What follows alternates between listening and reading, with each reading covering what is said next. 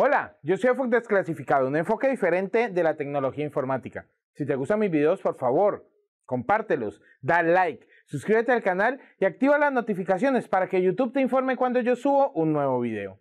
Bueno, este es el primero de una serie de videos llamado Wikifox.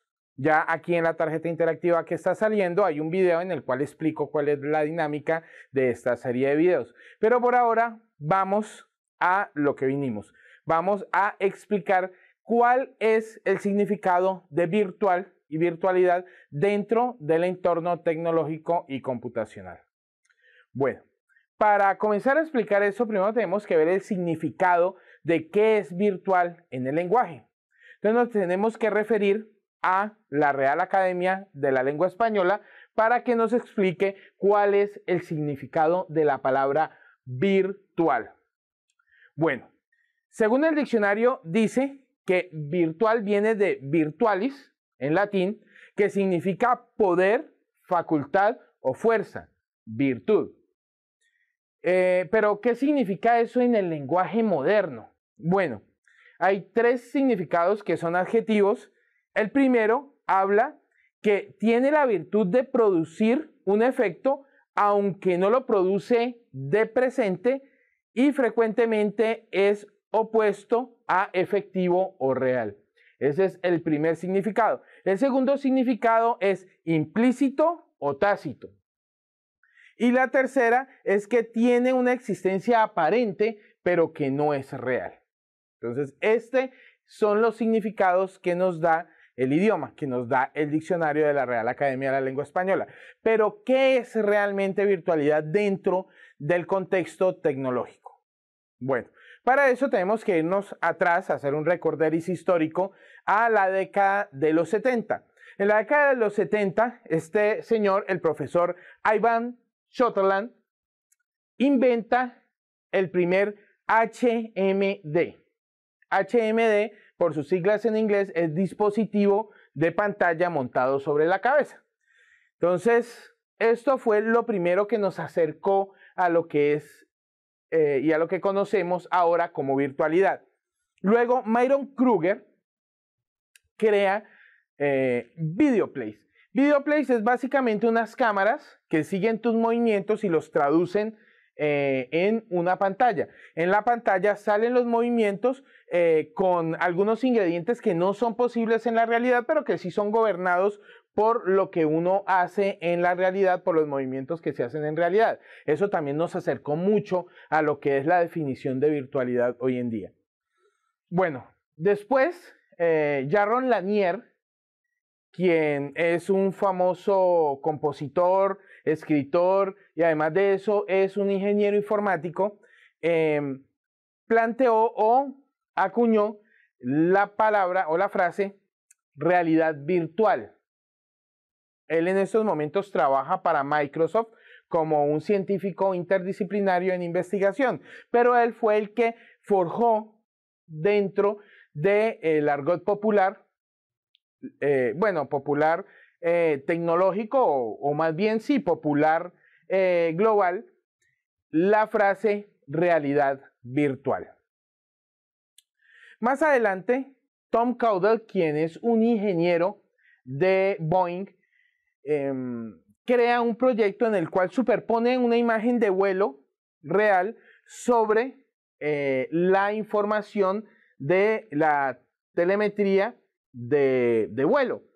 Eh, a eso él le llamó realidad aumentada. ¿Por qué? Porque se estaba viendo la imagen de vuelo que ven los pilotos normalmente, pero se le superpone eh, la telemetría de los instrumentos para ayudar al piloto a hacer un mejor trabajo. Bueno, y ya para llegar a lo que nosotros en estos momentos em, consideramos eh, o en lo que basamos nuestra percepción de lo que es virtualidad, nos vamos a aquel paper que eh, Paul, Paul Migram eh, y otros investigadores publicaron en 1994.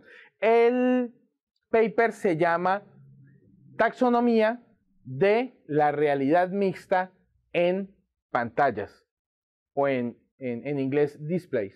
Entonces, ¿qué plantea el, el doctor Milgram dentro de, eh, su, de su ponencia, en su paper?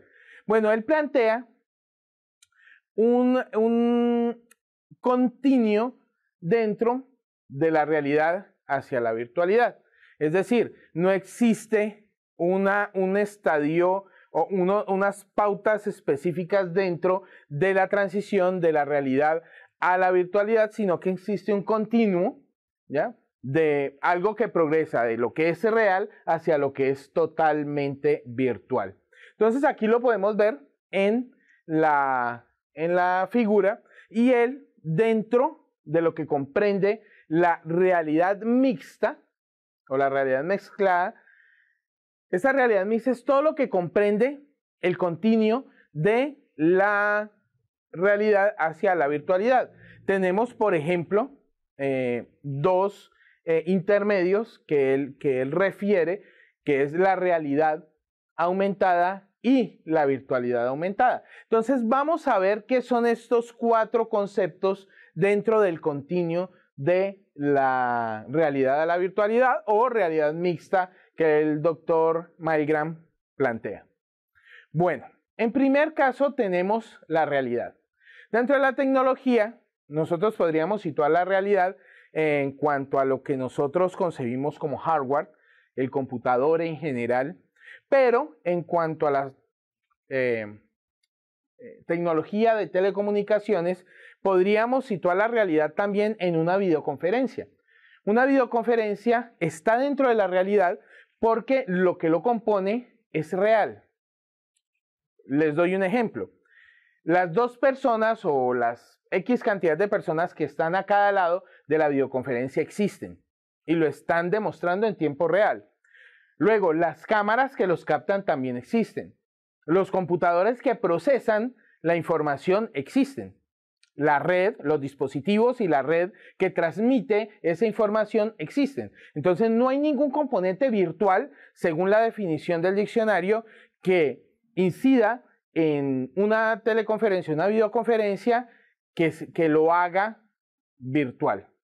¿Ok? Entonces situamos la videoconferencia dentro de la realidad. Ahora pasamos a lo que es eh, la realidad aumentada de Tom Caudle. ¿Qué es la realidad aumentada hoy en día? ¿Cómo la vivimos hoy en día? Bueno, nosotros podemos eh, tomar nuestro móvil, nuestro celular, eh, y descargar aplicaciones que nos van a permitir, por ejemplo, tomar con la cámara en la realidad, digamos una calle, en una ciudad, proyectar en nuestra pantalla del móvil la realidad que está pasando en ese mismo momento, pero colocarle un plus, un adicional. Ese adicional puede ser, digamos, la, situarnos dónde están los hoteles y los restaurantes, decirnos cuál es la ruta más óptima para llegar a un sitio. Eh, inclusive, hay algunas aplicaciones que te sitúan el restaurante y no solamente te sitúan el restaurante, sino que te dicen cuáles son los platos sugeridos, eh, no solo por el restaurante, sino por los comensales que han calificado los, los, las comidas en ese restaurante.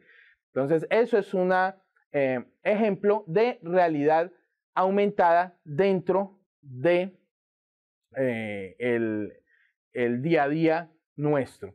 Otro ejemplo de realidad aumentada es Pokémon Go. Pokémon Go es un juego en el que el ingrediente de realidad está en que nos tenemos que desplazar a un sitio para poder atrapar un Pokémon. Ese Pokémon efectivamente no existe, hace parte de una ficción que es el juego, pero el ingrediente real es el desplazamiento para poder atraparlos, no solamente para poder atraparlos, sino para poder entrenarlos y también hacer los duelos. El ingrediente de ficción, el que aumenta la realidad, por decirlo así, es la parte del juego con los Pokémon. Entonces eso se llama realidad aumentada. Luego tenemos otro estadio dentro de ese continuum que se llama virtualidad aumentada. ¿De qué se trata la virtualidad aumentada? Bueno, imaginémonos un eh, ambiente totalmente virtual donde nosotros somos eh, representados por avatares, ya sea 3D o, 2D, eso no importa, pero eh, el entorno es totalmente virtual. Nosotros tenemos la certeza que las personas que están en ese entorno virtual en la reunión son reales solo porque el ingrediente de la realidad, el que aporta a maximizar la, la experiencia virtual, es el sonido de las personas que están siendo representadas por los avatares, o sea, su voz. Entonces ahí podemos hablar de virtualidad aumentada porque el ingrediente de realidad aumenta la experiencia virtual dentro de esa conferencia o esa reunión. Otra forma de aplicación de la virtualidad aumentada es, digamos, un foro en el cual los asistentes están eh, representados por avatares, pero el conferencista aparece en una pantalla dentro del entorno virtual, en una pantalla donde aparece tomado por el video de una cámara, ya sea en tiempo real o diferido, eso no importa en realidad, el ingrediente real es el video que está siendo proyectado dentro del entorno virtual. Entonces ahí también podemos hablar de virtualidad aumentada, porque nuestro entorno es virtual, pero tenemos un ingrediente real que lo está alimentando y que le está aportando. Para finalizar, tenemos la virtualidad. La virtualidad, ¿cómo la podríamos describir? Bueno, les tengo un ejemplo. Eh, estamos jugando, el juego se trata de es un juego de terror y estamos matando monstruos y evitando que nos maten. Estamos en un hospital abandonado y de pronto aparecen monstruos y nosotros tenemos que evitar que nos maten y a su vez matarlos. Esto no está sucediendo en la realidad, por eso se llama virtualidad. Estamos dentro de una ficción, la cual sí está teniendo efectos en nosotros, lo que va de acuerdo con el significado de virtual, o sea, tiene un efecto, pero el efecto no es el efecto real. Los monstruos no nos matan, ni nosotros matamos a los monstruos. El efecto que tiene nosotros es, por ejemplo, miedo, porque es un juego de terror, eh, euforia cuando ganamos o frustración cuando perdemos. Pero el efecto no es el efecto real, no nos están matando y nosotros no estamos matando, no estamos resolviendo un misterio real, sino que estamos resolviendo un misterio de ficción que fue creado para nuestro entretenimiento. Eso sería la virtualidad tal y como se define en, el diccionario y en, en el ámbito tecnológico y computacional. Bueno, no teniendo suficiente con todo este espectro eh, y estas cuatro definiciones del continuo eh, de la realidad mixta de, del doctor eh, Milgram, tenemos un concepto que se está acuñando hoy en día que se llama la virtualidad real. ¿De qué se trata esto de la virtualidad real? Parece contradictorio, ¿no? Pero eh, la virtualidad real se trata de un entorno virtual teniendo efecto sobre lo real. Un ejemplo. Eh, todos sabemos que el presidente Donald Trump ganó las elecciones por una campaña que hizo presencialmente, pero que también fue muy fuerte en medios virtuales y en redes sociales, como por ejemplo Twitter. Todos recordamos los, los tweets famosos de Donald Trump en los cuales eh, usando posverdad, utilizando, bueno, una cantidad de eh, técnicas para propaganda, eh, atacaba y también daba opiniones muy, muy, muy controvertidas acerca de lo que él pensaba. Entonces, ¿esto qué efecto tuvo en la gente? La gente dijo, bueno, este no es un político como tal, no es un político tradicional, y convenció a sus votantes para votar por una América grande otra vez y ganó. Entonces fue una, fue una acción dentro de un entorno virtual que tuvo efecto en la realidad. Otro ejemplo muy eh, famoso es el de Charlie Sheen, cuando publicó por accidente su número telefónico en Twitter, en un tweet, y prácticamente se quedó sin teléfono porque tuvo que cambiarlo, ya que hubo llamadas masivas y este es otro ejemplo de algo que hicimos en un entorno virtual que tiene efectos sobre un entorno real. Otro que se me ocurre es las amenazas a través de las redes sociales. Eh, digamos aquí en Colombia ya hay una legislación fuerte en cuanto a esto. Alguien que amenaza por redes sociales puede ser procesado, apresado y condenado por este delito. Entonces, en Colombia han habido muchos casos en los cuales eh, se hacen amenazas a través de redes sociales y eh, la persona que amenaza termina presa y procesada por el delito de amenaza por las redes sociales, amenazas de muerte sobre todo. Eh, y esto es lo que se considera hoy en día lo que se está acuñando como virtualidad real. Bueno, pues ustedes me dirían, eh, Fox, eh, hay otras tecnologías que están surgiendo que pueden estar dentro de este continuum. Bueno, de hecho, actualmente con el Oculus Rift y tecnologías afines o competidores y los HoloLens de Microsoft que además tuvieron un predecesor que fueron los Google Glasses. Eh, los HoloLens han eh, dado a luz, por decirlo así, una tecnología que Microsoft tomó el nombre de eh, realidad mixta. No, ¿No se les hace conocido?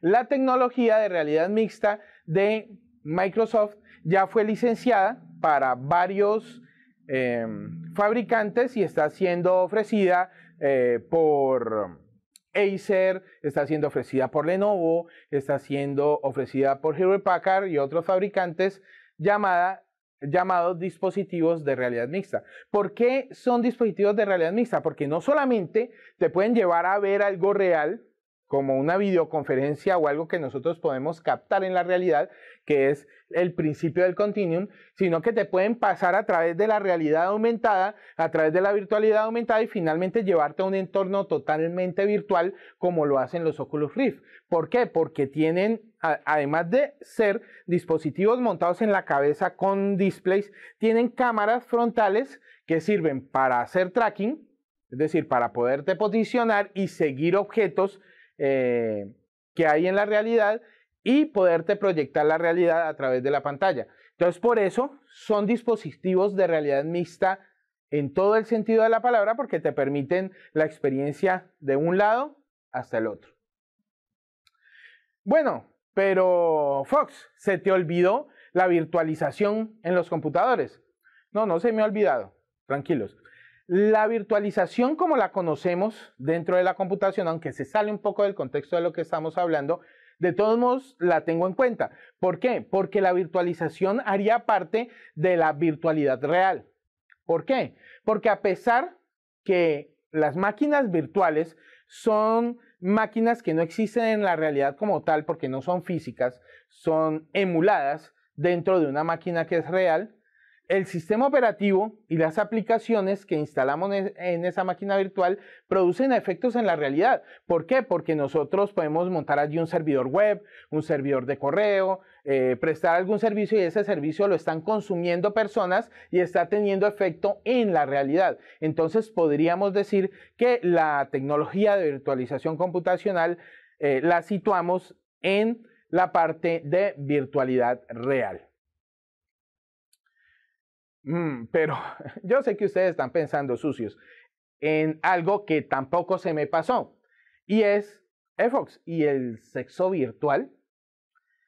Bueno, el sexo virtual se puede definir específicamente como eh, la simulación en un entorno virtual de una relación sexual entre dos avatares. ¿Por qué? Porque al final el sexo que está ocurriendo ahí no está ocurriendo en la realidad no hay una relación sexual en la realidad. De hecho, nosotros no sabemos realmente con quién estamos jugando o con quién estamos viviendo esa experiencia eh, o esa ficción de tener una relación sexual virtual. Por eso no está ocurriendo sexo en ningún momento. Entonces, eso sería lo que sería catalogado como sexo virtual específicamente. Ahora, existen otros términos como sexo interactivo, y sexo y cibersexo. Estos son otros términos que se pueden referir a interacciones eh, remotas con otras personas. Eso podría llamarse cibersexo o sexo interactivo. Les doy un ejemplo. las modelos de sexo por webcam no pueden considerarse sexo virtual. ¿Por qué? Porque hay una persona real pidiéndole a otra persona que haga determinadas acciones. Esas acciones están pasando a través de una cámara a otra cámara y están pasando en la realidad, pero no hay una relación física entre ellos. Así que no se puede llamar una relación sexual como tal. Si bien hoy en día el sexo ha dejado de ser solo el coito, eh, la mayoría de las opiniones convergen que la relación sexual necesita un contacto físico. En este caso no lo hay. Es por eso que las modelos y los modelos de webcam son considerados más actores pornográficos que eh, practicantes de la prostitución, porque no hay un contacto físico y por ende no hay una relación sexual. Estaríamos teniendo una relación interactiva, como sexo interactivo, o cibersexo, dependiendo del caso. También hay algo que puede colaborar a la virtualidad aumentada o a la realidad aumentada. Y eh, son los dispositivos de control remoto que permiten a uno de los dos lados eh, colocar eh, y experimentar eh, algo de estímulo sexual, mientras que remotamente por medio de un móvil la otra persona lo está estimulando. Esto entraría dentro del espectro de la realidad a la virtualidad, pero seguiría sin ser sexo virtual porque no hay un contacto físico entre las dos personas. Entonces, ¿Por qué eh, les traje este tema a colación y por qué hice toda esta investigación, esta exposición? Bueno, en lo que yo llevo practicando eh, la, informática y pendiente y entusiasta de la tecnología, he visto que la palabra virtual es usada casi para describir todo lo que tiene que ver con Internet. Y esto es errado en la mayoría de las veces. ¿Por qué? Les voy a dar cuatro ejemplos, los cuales a mí me molestan, eh, son los que más me molestan, pero ustedes me pueden sugerir más en los comentarios o decirme si no están de acuerdo. Bueno, el primero tiene que ver con el voto virtual. El voto virtual no puede ser virtual, porque según la definición tanto que nos da la tecnología como que nos da la lengua, el voto virtual no podría tener efecto en la vida real. Por eso tenemos una palabra para eso que se llama voto electrónico. Ahora, si bien puede existir una urna virtual, esta urna es un entorno o es una herramienta para acumular o para contar los votos. Puede ser virtual porque es un entorno, pero los votos son reales. Hay otro ejemplo, que sería el segundo ejemplo, que es la educación virtual. La educación virtual tampoco eh, podría ser eh, descrita así. ¿Por qué? Porque los efectos de la educación sería aumentar el conocimiento de las personas. Entonces la educación virtual no lo haría. ¿Por qué? Porque no tiene su efecto explícito en la realidad. Y volvemos con un ejemplo similar al del voto porque sí pueden haber aulas virtuales. ¿Y por qué pueden haber aulas virtuales? Porque se habla del entorno del aula, que es donde uno adquiere el conocimiento, pero el conocimiento en sí, la educación es real, no es virtual.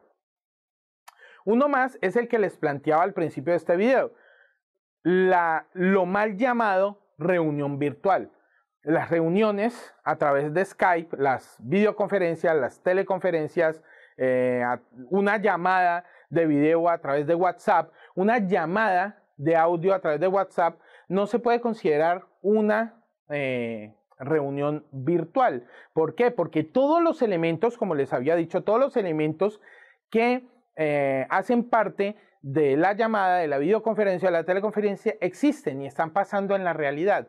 Están utilizando un método de comunicación, una tecnología para comunicarse, pero esta tecnología no es virtual, existe en todos sus aspectos, así que no se puede considerar virtual. Es una teleconferencia, una videoconferencia, una llamada de teléfono, así como las llamadas que, de teléfono que tenemos desde hace 120 años que se inventó la tecnología telefónica, pero eh, no tiene cabida el término reunión virtual dentro de esta tecnología de telecomunicaciones.